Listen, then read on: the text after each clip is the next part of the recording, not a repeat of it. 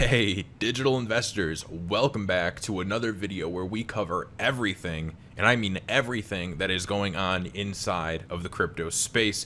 There are so many things that are going on, there is so much news that is coming out, it's almost hard to pick and choose what to start including in these videos. If you guys are frequent viewers of the show, make sure you tap the like button. It really does help a ton for the YouTube algorithm. And if you are trying to stay up to date on everything going on inside of the crypto space, then make sure you subscribe to the channel.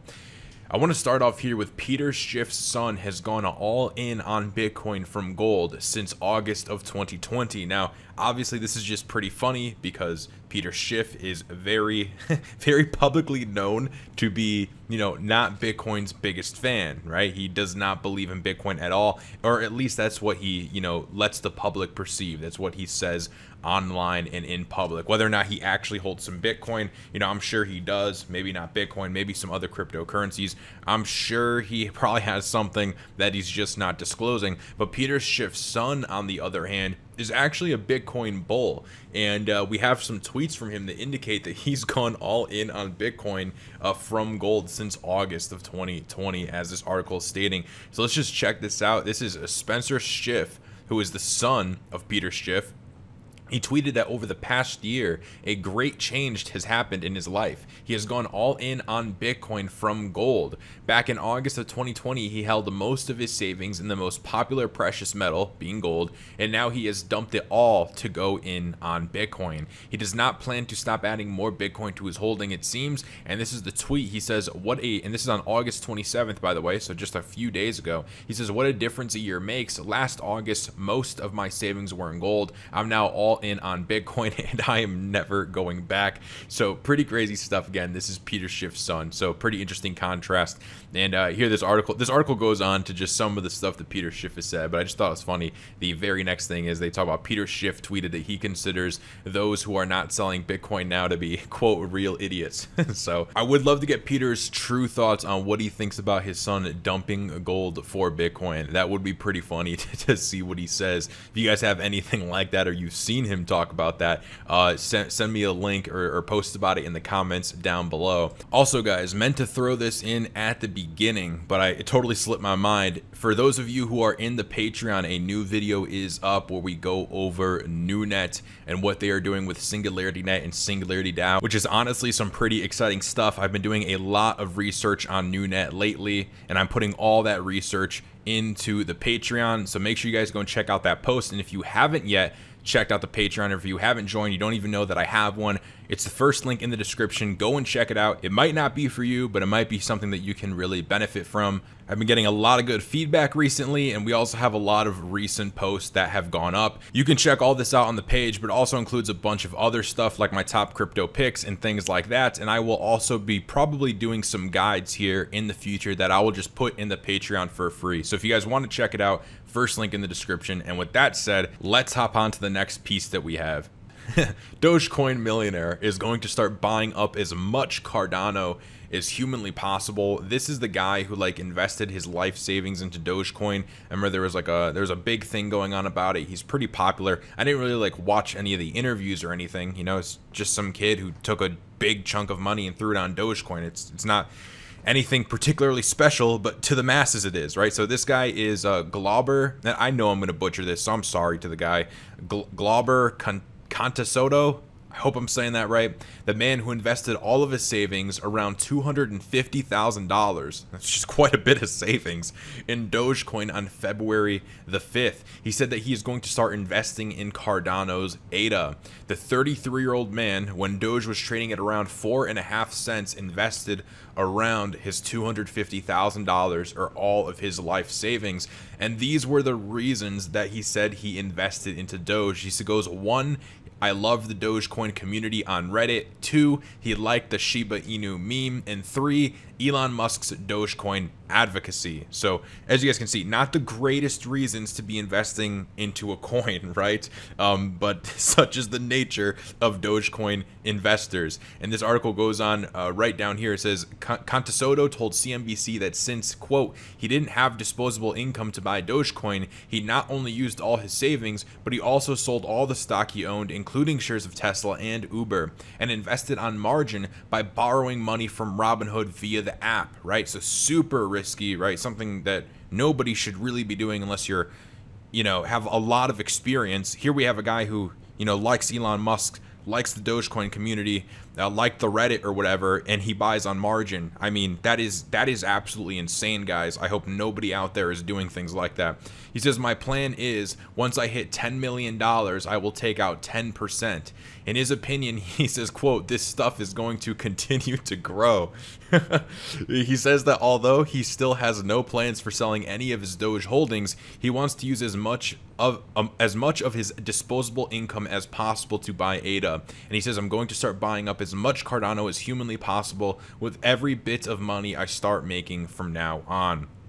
He also puts out this tweet. I believe in the next five years, the top five cryptos will be Doge, ETH, Bitcoin, Cardano. And interestingly enough, he actually posts XRP. So interesting stuff, guys. Wanted to just present this to you. We do have the Dogecoin millionaire going all in on Cardano. I wanted to post this because not only does it give us a great example of how not to invest into cryptocurrencies. I mean, yes, this guy did end up becoming a millionaire, but you know, for the most part, he did a lot of things wrong. Uh, so not only do we understand what not to do, uh, but I also wanted to bring this up because this is pretty great, right? This guy built a pretty big following. He's known as the Dogecoin millionaire, and now he's bringing Cardano into that fan base that he's built up, right? I think that a bunch of people who all invested in Doge. Doge is all they really know. They think Doge is the future. I think it is absolutely great that they are now getting some exposure to Cardano and hopefully they can educate themselves on, you know, what good crypto projects are rather than just aping into Dogecoin. So interesting stuff. I think this could be really good for Cardano.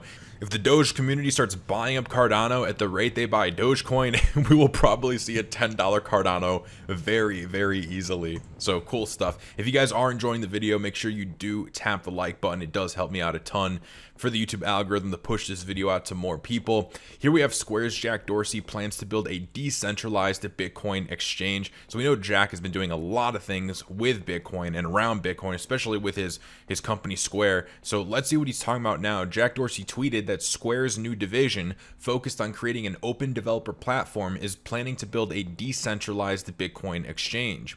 He tweeted out, Help us build an open platform to create a decentralized exchange for Bitcoin. Now, Mike Brock who is the lead initiative of this project, tweeted separately, and he says this is the problem we're going to solve. Make it easy to fund a non custodial wallet anywhere in the world through a platform to build on and off ramps into Bitcoin. You can think about this as a decentralized exchange for fiat. He says, We'd love for this to be Bitcoin native top to bottom. He also noted that the platform would be entirely developed in public, open source, open protocol, and that any wallet would be able to use it. He also notes gaps around cost and scalability, and that TBD needed a solve for exchange infrastructure between digital assets like stablecoins. So, Jack Dorsey, Mike Brock working hard on this Bitcoin DEX and again, really adding some fuel to the fire for Bitcoin and cryptocurrencies at large. Here we have Ripple demands disclosure concerning SEC employees' XRP holdings. Now, this is also quite interesting, right? We got a lot of interesting news across a bunch of different sectors today. And at the end of this article, they also say something that is pretty interesting. Basically, if the SEC decides to ignore um, this order, that the whole case could just be thrown out the window. So let's see what's going on. Ripple recently filed a motion to compel the SEC to reveal policies and information regarding its employees trading in cryptos like Bitcoin, Ethereum, and XRP. This motion will add to Ripple's fair notice defense, and as per the filing, this is what Ripple wants the SEC to provide. This is what it says anonymized documents reflecting trading pre clearance decisions with regard to XRP, Bitcoin, and Ethereum, or alternatively, for that information to be produced in aggregate form. Further, the documents relating to the SEC employees' XRP holdings were also mentioned in the motion filing. Defendants also seek certifications concerning SEC employees' XRP holdings, again, either with redactions of personal information or an aggregate form. We met and conferred with the SEC on this issue on July 8th, 15th, August 18th, and 25th without any progress. Ripple's previous requests were met with the SEC's refusal to produce certain information. Isn't that great, guys? The SEC can just Yeah, they just refuse. Ripple pointed out that until January 19th of 2018, the SEC did not view digital assets as securities, and its employees were therefore, quote, free to buy, sell, and hold XRP without any restrictions by the SEC. The document also stated this this evidence provides strong corroboration of the defendant's defenses in this case and undermines the SEC's claims. Specifically, the now acknowledged fact that the SEC itself did not restrict its own employees from selling or buying XRP notwithstanding its long-standing regulation against its employees engaging in securities transactions without pre-clearance, indicates that the SEC had not concluded prior to at least January of 2018 that sales and offers of XRP were securities transactions. So interesting stuff, right? They want to see what the SEC, or rather employees of the SEC, were doing with their XRP, Bitcoin, and Ethereum, if any at all. Now, at the bottom here, this is what I was talking about earlier. The court has given the SEC until the 3rd of September to respond to this motion, which, guys, that is not that far away. However, what if the SEC refuses to cooperate once again? And this is what they say the SEC can absolutely decide to not follow the court's order. What happens after a period of time is the judge will issue sanctions against them. If the SEC continues to ignore the order, then it can ultimately lead to the case being dismissed. So, honestly, that's kind of looking like a best case scenario, right? Hopefully the SEC realizes, you know, the blatant beating that they just got, right? Completely hum- humiliated. And hopefully they just won't even respond and get the whole thing thrown out. Anyways, guys, that is some pretty crazy stuff. And we will see what comes out of it. Definitely wanted to let you guys know what's going on there. Now let's take a look at these three altcoins that are surging. This article outlines them and also gives some descriptions of whether or not they can realistically compete with Ethereum. The three coins we'll be looking at today is Avalanche or AVAX, Solana, Sol, and Terra Luna.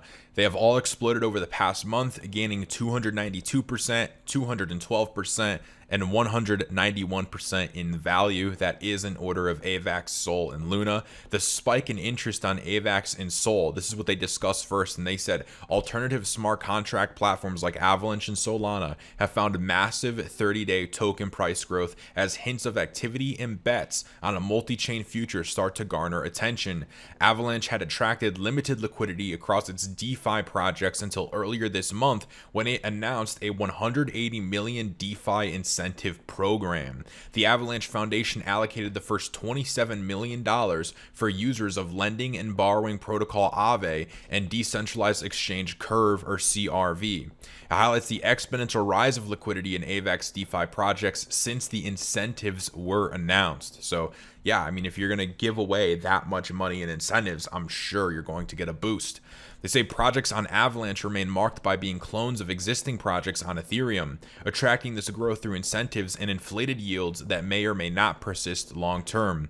Now they move on to Solana. They say Solana has focused on DeFi protocol implementations, which have driven growth in its ecosystem. Solana ha also has a processing capacity of between 50,000 to 65,000 transactions per second, which allows the network to scale. That is quite a bit of TPS. They say that there are five projects in the Solana DeFi space which have more than $100 million worth of total value locked up. For comparison, Ethereum boasts over 60 projects with more than 100 million total value locked. Solana certainly presents an attractive alternative option for projects requiring scaling, though for now, it has barely scratched the surface in competing with Ethereum for total liquidity.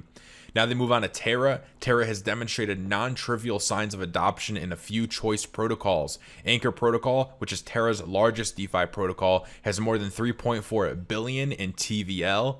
Like Solana and Avalanche, Terra has yet to host more than five projects with more than $100 million in liquidity. According to the analytics firm, they say while some alternative layer 1 smart contract platforms have seen their native tokens rally in recent weeks, actual liquidity on chain remains limited relative to the Ethereum chain. Then Glassnode also goes on to say this. They say that they see a world in which more users are migrating to these platforms especially if Ethereum struggles to scale its network. And this is interesting because there are so many people who have been so fed up with Ethereum for a very, very long time. So Let's see what they say. They say as some users traverse across to newer and more experimental blockchains, developers will have to access the viability and longevity of additional users and capital moving on or off of Ether. As competition for users, attention, and capital increases, many developers and protocols may find the trade offs worth it, or even find untapped value and opportunity in protocol design. And if Ethereum L2s struggle to scale the network or create a heavy barrier for user experience, users may naturally gravitate towards alternative chains in response. Yeah, Exactly. Now in the comments, this is my question for today's video. What do you guys think? Do you think Ethereum is going to be able to solve these issues and come out on top, still be the number one in this sector or do you think they are going to lose a massive ground to these other blockchains that are pretty much already there let me know what you guys think in the comments bonus points if you also give a couple of reasons as to why our fear and greed index for today, we have dropped down about six points. We're now in greed at 72, which is what we were at a few days ago. Yesterday, we were in extreme greed at 78 but now we're just in greed. Let's check out the crypto prices for today. We will hit the top 10 quickly. So looks like we have Bitcoin at 48.8 thousand, Ethereum at 3,200, Cardano, Cardano 11 cents away from $3, sitting at $2.89. Uh, Binance Coin at $482, XRP at $1.16, Dogecoin at 28 cents, Solana at $93, still up 26% on the week. Polkadot up, at, not up, but at $25, and Uniswap at $26. And with that said, guys, we are going to wrap up the video here. If you enjoyed the video, make sure you subscribe and hit the bell so you're notified every single time that I put out a video like this. Also, tap the like button as it does help a ton to grow the channel and push this video in the YouTube algorithm. And with that said, guys, actually, one more thing to add in here. You guys already know this is not financial advice and I'm not a financial advisor, so don't take these videos as such. I'm just having a great time with you guys documenting the crypto news and documenting this crypto bull run, and that's really it. Anything that I share here is just my opinions. I do deeply appreciate all of you that watch and support the channel, but make sure that you also do your own research because at the end of the day, we are all responsible for our own investment decisions. With that said, guys, Thank you so much for the support, and I will see you on the next one.